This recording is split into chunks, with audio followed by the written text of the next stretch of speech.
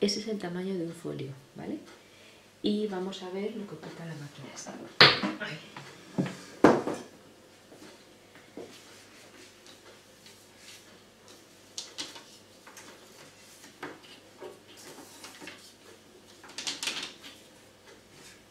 Más o menos lo he puesto encima y veis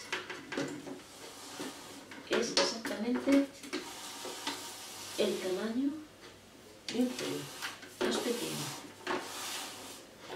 que un.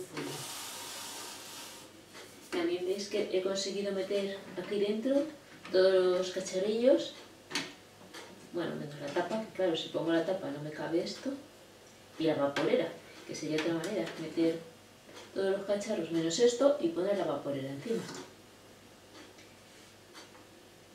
Y de alto, hombre, ya estamos, esto de que se, de que se quede tan pegado con las patas es un poco latoso. Este es el alto de un folio, para que lo veáis, la distancia. Y tamaño total.